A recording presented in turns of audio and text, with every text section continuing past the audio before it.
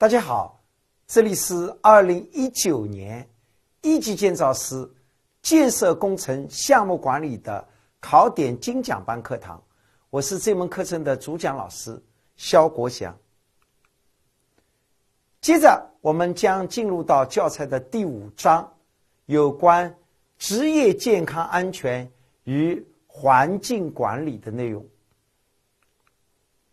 先看一下这一章的大致内容。这一章的第一部分，首先介绍的是两类体系，一类就是职业健康安全管理体系，还有一类就是环境管理体系。那么这一节的内容呢，通常是主观表述性为强的，因此它所占的考试分值并不是特别的强。第二个内容呢，是从法规制度上来谈建设工程安全生产管理这一节相对来说分值比较多一些，因为它所涉及的法规比较多。第三部分主要是讲建设工程生产的安全事故以及应急预案啊事故处理。那么这部分也有一定比例的分值。最后这一章很有特色的内容是关于职业健康安全与环境管理在现场的要求，所以涉及到我们和实务课程对接的现场管理的那部分内容。整个这一章的分值大约在十五分到二十分左右。好，我们接着来讲第五章第一节的内容，也就是说两类体系的介绍。一类体系，职业健康安全管理体系，通常就称为叫安全；一类体系，环境管理体系，通常就称为叫环境。因此，这一章实际上就是讲这两大体系的。为什么把这两大体系放在一起讲呢？因为这两大体系有很强的对比类似性。简单的说一下第一节的考点。第一，首先我们介绍这两类体系的标准。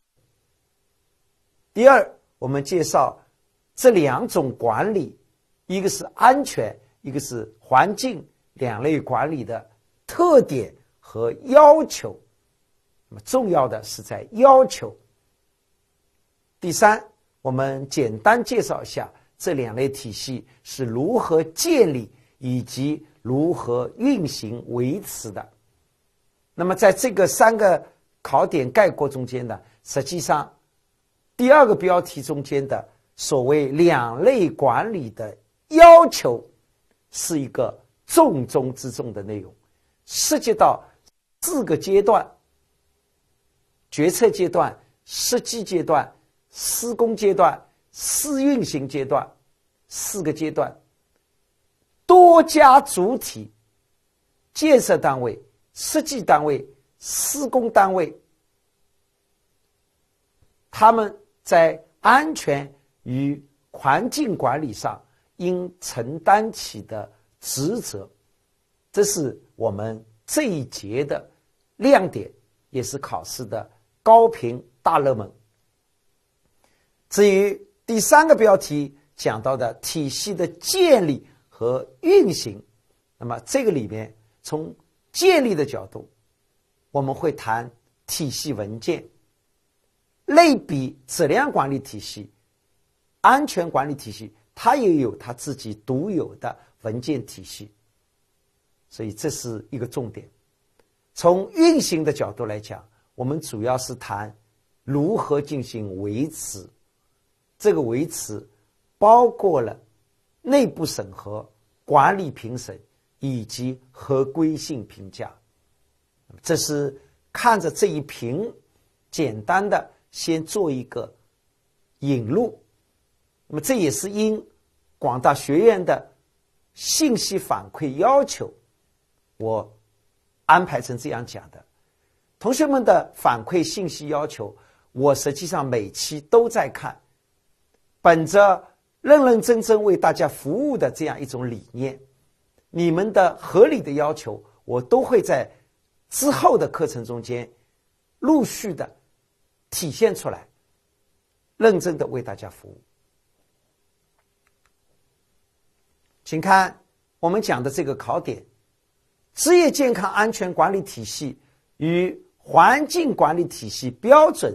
这样一个考点，就是介绍两类标准，因为这两类管理的体系都是有标准可以借鉴的。那么这个考点呢，在频率上是属于中等频率，出题的频率是中等频率，所以是两颗星的标识。从真题的分布来讲呢，我们可以在一四年和一八年的卷面上去找到它的踪影。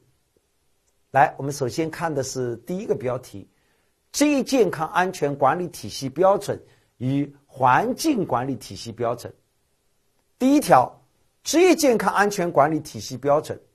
那么，职业健康安全管理体系它是属于企业的总体组织管理体系的一部分。这句话的引申潜台词是。职业健康安全管理体系，它并不是一个独立的体系，它是依赖于企业的组织管理体系而存在的。所谓的职业健康安全，我们必须要了解它的定义。我下面给大家注解了，简单的要知道一下它的定义。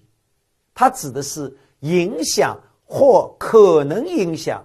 工作场所内的员工或其他工作人员、访问者和任何其他人员的健康安全的条件和因素，这个大家一定要注意。所谓的安全，它讲的是对人啊产生的这个不健康的安全的啊条件和因素，我们要力争。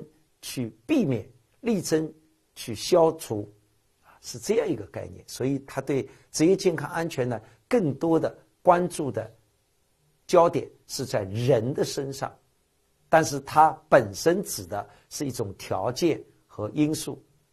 好，我们再来看第二点，环境管理体系的标准，它指的是环境是组织运行活动的。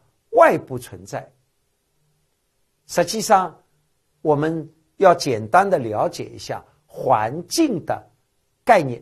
除了简单了解一下职业健康安全的定义以外，还要简单了解一下关于环境的概念。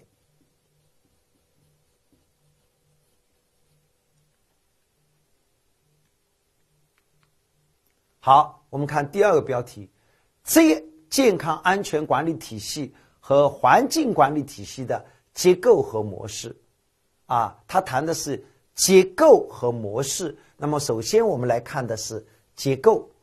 那么，整个结构来讲呢，安全管理体系呢是由四部分组成。所谓范围、引用文件、术语定义和体系的要求。那么，实际上重点。是在于这个要求展开，也是在这个要求。前三个就是从名词上简单了解一下就可以了。范围、规范性引用文件、术语定义。但是职业健康安全管理体系的要求，它是要具体展开的。书上也是有表示给大家来展示的。第二，我们来看看所谓的模式。这个模式实际上。可以理解为 PDCA，因为它用的是代名模型，本质上就是 PDCA 啊。我们来看看它的一个图，这个图前面是方针，那下来是策划啊，那么到这儿呢应该是 P 啊 PDCA 的 P，然后是实施与运行，这个应该是 D，检查和纠正。应该是 C 啊，纠正和改进应该是处置的内容啊，应该是 A。所以它这个整个这个过程啊，动态循环的过程，本质上是包含了 PDCA 的原理。好，各要素之间的相互关系，其实这个才是这一个单元的高频考试内容。我上面给大家的提示是以背为主。借题自查，同学们，他讲到两类因素，一类是体现主体框架这个体系主体框架和基本功能的，我们称之为叫核心要素；另一类是支持性和保证性的要素，称为叫辅助要素。那么，核心要素有几个？有十个；辅助要几要素有几个？有七个。而这一切，对我们的学习、参加考试来讲，本身这道题你要不要拿？要拿的话，它就是以背为主的。当然，你可以在背出来的基础上，借助历年真题中间跟这个知识点有关的题，去检查一下自己到底分得清楚哪些是核心要素。哪些是辅助性要素吗？很无奈的跟大家沟通，因为从讲课者本身来讲，他也不希望给你一种感觉，要跟你说：“哎，这里要背的。”因为太多的背，同学会有厌烦的情绪。但是实在是很无奈，考试就是这么考的。如果我们不按照考试的规律去讲，同学考完以后。在这些问题上也是会有不同的声音、不同的反馈的，所以我希望我们之间的这种沟通应该是畅达的。我告诉你，这个点，如果你想要这分数，你就得背。但是你背完以后，你到底背的效果如何？你可以根据历年的真题有关这个知识点的真题来自查。当你发现自己没有背好，没有能够很妥善的解这道题的时候，你回过头来还得背。当你发现我做了好几套类似的题，我都能够轻松自如的分辨出来哪些是核心要素，哪些是辅助性要素的时候，恭喜你，这个分数已经到手了。特别是做多选题的时候，挑你熟悉的、已经掌握的去挑。来，我们看看核心要素，方针，这是一个核心要素。危险源，这是我建议大家记的第二个核心要素。至于这句话很长，不希望大家记得很长。法律法规，这是第三个核心要素。目标方案是第四个核心要素，希望大家能够记住的。下面一句句子很长，没有必要这样去记。你或者记顶头的资源，啊，你可以记资源，或者你干脆记两个字“责”和“权”。那么这也就代表这句话你记住了，因为我们偷一个什么巧，就出题者他很有可能把这一行资源、作用、职责、责任、权限拿进来的时候，他并不做。太多的改动，那我们只要盯住里面一个啊，把它掌握住就行了。好，合规性评价也是一个核心要素，运行控制也是合规要素，绩效测量和监视，那么你要记住的是测量和监视，内部审核、管理评审。那么有些词儿呢？我们其实，在这一节中间反复的会啊学到，比如说内部审核、管理评审，那你要记住，它就是核心要素。所以我自己的经验是，多念念也未必说一定要死背，啊，但是要进脑子，念的时候要适当的有一带一点点记忆。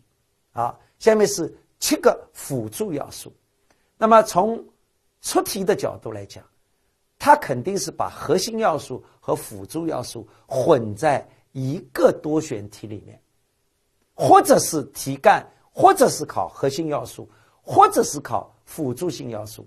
这种情况下，其实同学可以有机会主义的做法，就是只背核心要素，不背辅助要素。到时候我只要核心要素背的完整了，我去除核心要素就行了。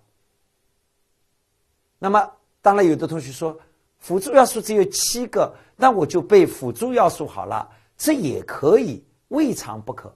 那辅助要素有能力、培训、意识，那么你可以记能力、意识一个选项；沟通、参与、协商，你可以记沟通、协商。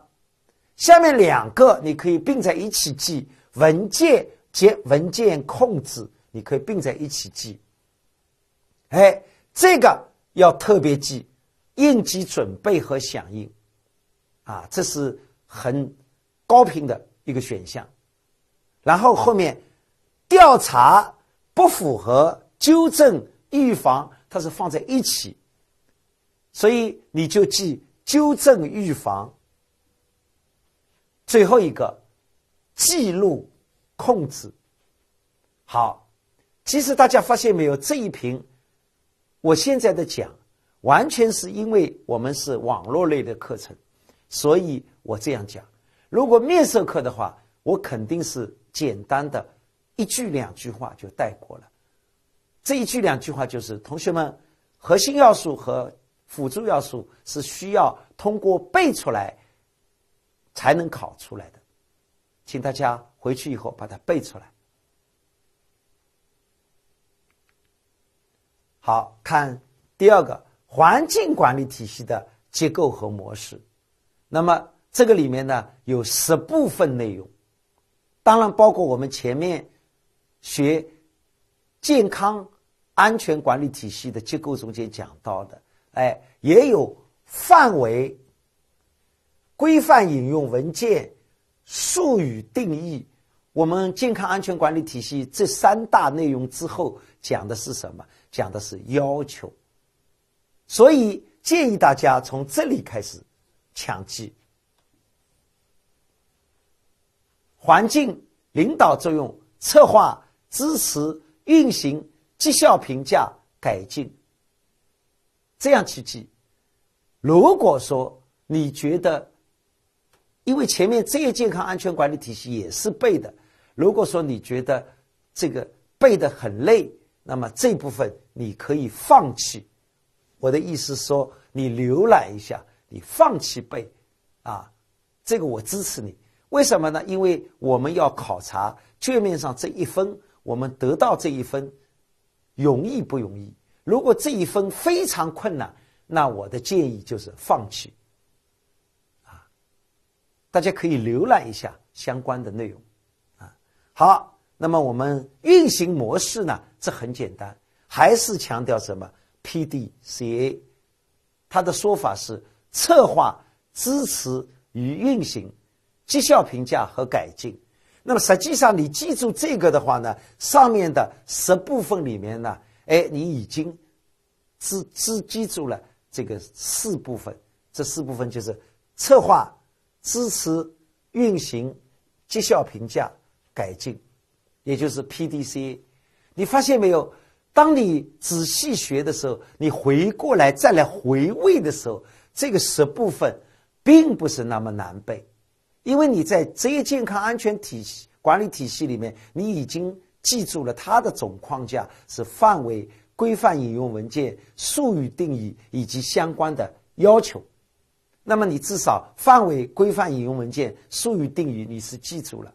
你在这里在上下学习的时候，哎，我们一对照，我们发现我们的 P D C A 策划、支持、运行、绩效评价、改进，哎，我们也掌握了，等于十个部分，我已经大概的六七个部分，啊，我已经背得滚瓜烂熟了。这就是巧妙的地方啊，所谓熟能生巧的地方。好。那么大家来看看这张图，这张图不要大家背，但是呢，大家要知道，PDCA 和这个体系的框架是要对起来的。P 对的是策划，D 对的是支持运行，C 对的是绩效评价，呃，A 对的是改进。PDCA 啊，很有可能就是在这个图上啊，字母 PDCA 的字母对着它的中文含义出一道最简单的题，让你勾一下，选一下。好，接下去我们看第三个标题。建设工程职业健康安全与环境管理的目的，我们从事这两类管理的目的是什么？那第一个是职业健康安全管理的目的，那么它更重要的是讲想办法尽可能减少和消除在生产中的不安全行为和状态，不至于让这个不安全行为和状态来引发事故。这是职业健康安全管理的目的，说的白了，大白话讲就是少出事故啊，不出事故，少死人，不死人，少伤人，不伤人，这是我们最接地气的理解。所以，保证人的健康和安全是它的根本出发点，而环境管理的目的是要保护。生态环境，从一个项目的角度来讲，我们不要讲的好高骛远啊。这个其实讲的非常高啊，什么生产啊、经济发展啊，要考虑人类将来的生存环境啊啊，这个讲的非常高，站得非常高。那么我们降低身段，我们从项目本身来讲，你所谓的环境保护，就是你项目现场周围。啊，那些你会产生的那些污染，你都要严格控制住。这些污染包括什么？包括你有空气污染的可能，你有水污染的可能，你有噪声污染的可能，你有固体废渣污染的可能，以及你有光污染的可能。把这五大类的啊，常见五大类的污染严格控制住，啊，保证的是周边环境的啊安全。保证的是周边环境的这个安全。好，下面巩固一下，下列这一健康安全管理体系的要素中，属于核心要素的是。这道题是一八年卷面上的，我们把它放在这里给大家做样板，再次证明我一再跟同学沟通的这个背的准确性、重要性。希望学员能够根据考试的规律出发，认同我们之间能够达成一致，认同这个背的重要性。接下来我们看这道题，四个选项选一个核心要素，那其他三个肯定是辅助要素了。那其实我们记得熟的话，法律法规它一定是核心要素。所谓应急准备响应、文件文件控制。沟通协调，这些都是辅助性要素，所以这道题答案是 C。再看一道题，所谓环境指的是什么？我们说这是一个简短的定义，它指的就是组织运行活动的外部存在，这也是近乎于要记忆的一个一句句子。那么至于它后面。给的什么？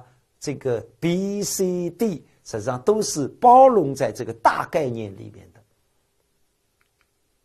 好，我们进入到这样一个考点：职业健康安全与环境管理的特点和要求。从考试的角度来讲，它是偶尔出现的。那么，首先我们要浏览浏览关于。建设工程职业健康安全和环境管理的特点，那么其实这个地方尽管平时是浏览，考试出道题目的话是蛮难的，因为它是要以文字对文字换理解，以句子换一个选项的理解，这是这种考题的出题手法。比如说，他要考你复杂性，那么他一定会给你下面的话：露天作业。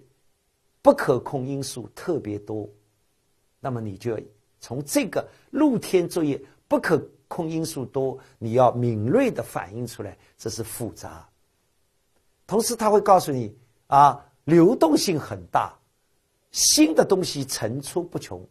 那么这种情况，你要意识到，哎，这是它的多变性特点。他会告诉你，有交叉作业，容易相互干扰、相互影响。那么这个你就要想到协调性的特点。他会告诉你，一个工程从设计实施到投产周期相当长，这个你就要想到持续性特点。同时，他会告诉你。现在这个产品要符合时代要求，符合社会要求，啊，那么你就要想到这是一个多样性特点。时代性、社会性、多样性又构成了什么？又构成了经济性的要求。我的这个讲法，希望大家能够理解，这些并不靠死记硬背，主要是靠平时的浏览，在脑子里留下的印记。也没有必要，也不可能去死记硬背。好，接下来我们来看建设工程职业健康安全与环境管理的要求，这部分是绝对的重点，就是我通常讲的四个阶段、四家主体，我们分别来讨论。首先讨论的是决策阶段，决策阶段的当家花旦是谁？登台唱戏的一定是建设单位。他唱的什么戏？它主要是到政府部门去办理跟安全与环保有关的审批手续。所以同学们要抓住要点，在这个标题下抓住的要点是建设单位，他去办审批，办完审批以后啊，他可以得到的结果是什么？完成什么？完成的是环评，叫环境影响评价；完成的是安全预评价。这是决策阶段一个阶段。那再次强调，是建设单位他干的相关工作都是去报批啊，而报批最后得到的结果是完成了环境的评价、影响评价和安全的。特别公重视的是。预评价这个字不能少。好，进入到设计阶段，那么登台唱戏的主角是谁？当仁不让的应该是设计单位。设计也要参与管安全，设计应该考虑到施工安全和防护的需要，对涉及安全的重点部分和环节。在设计文件中要进行注明，要对防范生产的安全事故提出指导意见。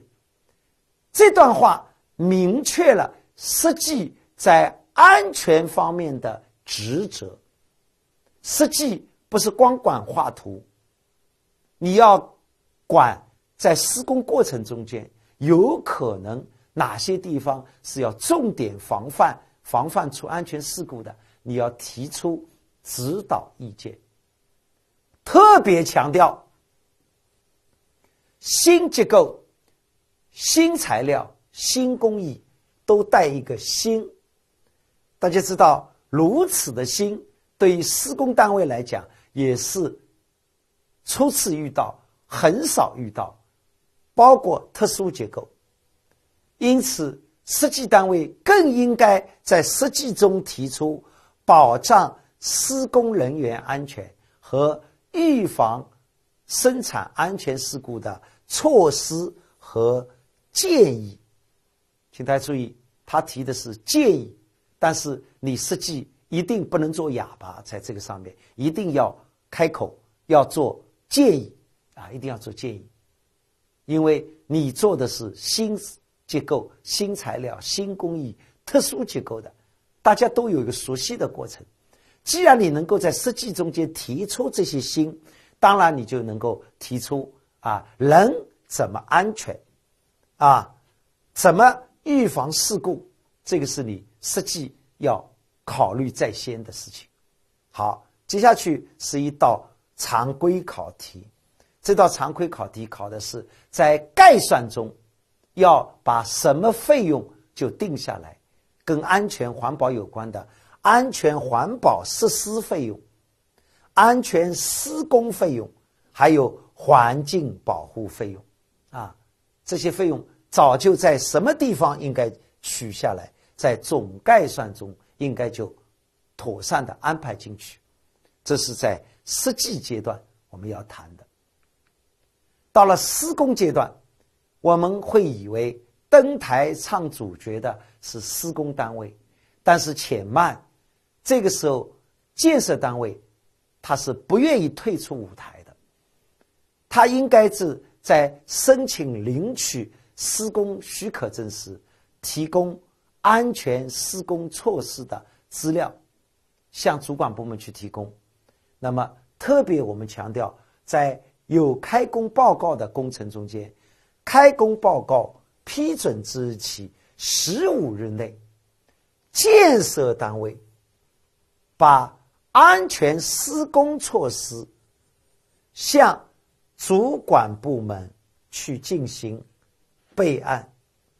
那大家要把这个意思摘出来。好，那么当然。如果说有拆除工程的话，还是由建设单位在拆除工程施工十五日前，把施工单位的资质等级证明、你拆的啊，以及可能比邻建筑的说明，重点的是拆除施工的组织方案啊，以及废弃物的处理、堆放、清除。这样的相关资料送到有关部门去备案，还是强调建设单位十五日前去到有关部门去备案。这两条笼统的记都是建设单位十五日前到有关主管部门去进行备案。好，那么一组退到台后，施工单位登场唱戏。施工单位的企业代表人是第一负责人，是安全生产的第一负责人，而项目经理是项目生产的主要负责人。这个要理清楚，这个地方一定要重点理清楚这一条各自的职责所在。安全生产的第一责任人、第一负责人应该是企业的代表人，而项目经理是施工项目生产的主要负责人。那么下面一条讲的是我们总包单位要对生产现场的生产负总责，因为你是总包，所以你要负总责。而且从法规上来讲，你自行完成。主体结构。好，下面还有一条讲总分包的安全责任分担。分包单位要服从总包单位的安全管理。如果分包单位不服从管理，而且造成了生产安全事故的，分包单位承担的是主。要责任分包承担的是主要责任，而总包承担的是连带责任。这个词儿，我们说法规上、管理上经常学到啊。总包承担的是连带责任啊。就分包工程而言，请大家注意范围。就这个分包工程而言。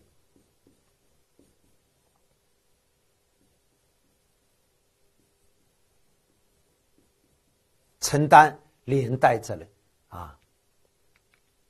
好看第四个阶段试运行阶段，业主又跑到台前来了，又是一组为主，在什么时候竣工以后啊？业主要去干嘛？要去进行环保设施的竣工验收的申请。这个申请在什么时候提出来？项目。投入试生产三个月内向环保行政主管部门申请。那么这里重点的是这个时间点要卡住。那么当然，政府部门环保行政主管部门在收到了你建设单位提交的啊这个环保配套竣工验收的申请以后呢，他会在三十日内来完成验收。四个阶段分别的有所侧重，四家单位啊有所侧重，四个阶段，希望大家呢用浏览的方式，并且用比较熟悉的这样一种啊状态来对待，在这个考点上产生的类似于啊聚合型的这样的考点。好，我们来巩固一下。对于依法批准开工报告的建设工程，建设单位啊，不要忘记了是建设单位，边做题边巩固。建设单位自开工报告批准之日起，那么明显的是十五日内干什么？把安全施工措施报送有关部门去什么备案？这些平时做的时候都要完整的做，这样的话呢，才能预防。以后考试可能换一个位置来考，啊，十五日，答案是 C。再看，关于施工总承包单位安全责任的说法，准确的是：A，总承包单位对施工现场的安全生产负总责，总承包负总责这个说法一定会是对的。啊，一定会是对的。那么，B，总包单位的项目经理是这个企业安全生产的第一负责人。你把这项目经理抬得太高了，抬得太高了，应该是这个单位的代表人，啊，是一般指的是法定代表人，啊，也可以安排主管安全生产的负责，啊。这个是企业安全生产的第一责任人，所以 B 是错的。C，一组指定的分包单位可以不服从总承包单位的安全生产管理。第一，不管你是什么属性的分包单位，你肯定都要归总承包单位去现场管理、组织和协调。所以，怎么可能？不服从，啊，不服从是错的啊，不服从是错的。好，，D 分包单位不服从管理，导致安全生产事故的，总包单位不承担责任，错了。我们承担的是一个什么责任？连带责任，连带责任啊。总包对分包工程始终负有一个连带责任，所以最后这道题目。答案应该选 A。好，同学们，这是这一章的第一部分。谢谢大家。